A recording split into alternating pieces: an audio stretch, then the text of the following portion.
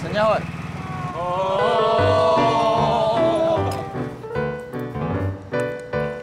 怎么那么晚回来啊？要介绍一个非常特别的字，是耳洞这个字，它代表的是爱慕，是仰望。